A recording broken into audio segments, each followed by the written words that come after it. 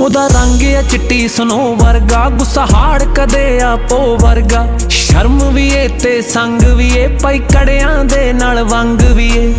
ਤੁਰਦੀ ਰਾਵੀ ਵਾਂਗੂ, ਰਾਣੀ ਕਿਸੇ ਨਵਾਬ ਦੀ ਏ। ਉਹਦੀ ਸੀਰਤ ਸੂਰਤ ਵੇਖ ਕੇ ਲੱਗਦਾ ਜੰਮੀ ਜਾਈ ਪੰਜਾਬ ਦੀ ਏ। ਉਹਦੀ ਸੀਰਤ ਸੂਰਤ ਵੇਖ ਕੇ ਲੱਗਦਾ ਜੰਮੀ ਜਾਈ ਪੰਜਾਬ ਦੀ ਏ।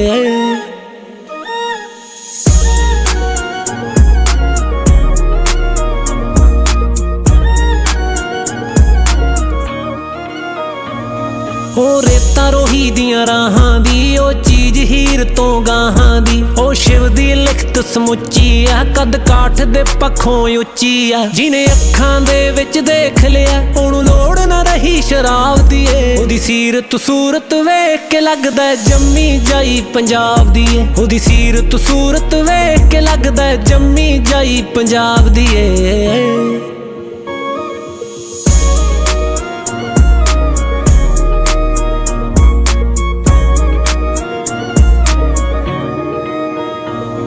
ਉਹ ਸਮਝ ਨਹੀਂ ਪੈਂਦੀ ਰਾਗਾਂ ਵਰਗੀ, ਨਵੇਂ ਸ਼ਹਿਰ ਦੇ ਬਾਗਾਂ ਵਰਗੀ। ਸੂਟਾਂ ਤੇ ਨਿੱਕੀ ਜੀ ਬੂਟੀ ਆ, ਉਹਨੇ ਪੀਂਗ ਸੌਣ ਵਿੱਚ ਝੂਟੀ ਆ। ਘੁੰਗਰੂਆਂ ਵਾਲੀ ਜੁੱਤੀ ਛਣ ਛਣ ਕਰਦੀ ਫਿਰੇ ਜਨਾਬ ਦੀ ਏ। ਉਹਦੀ ਸੀਰਤ ਸੂਰਤ ਵੇਖ ਕੇ ਲੱਗਦਾ ਜੰਮੀ ਜਾਈ ਪੰਜਾਬ ਦੀ ਏ। ਉਹਦੀ ਸੀਰਤ ਸੂਰਤ ਵੇਖ ਕੇ ਲੱਗਦਾ ਜੰਮੀ ਜਾਈ ਪੰਜਾਬ ਦੀ ਏ।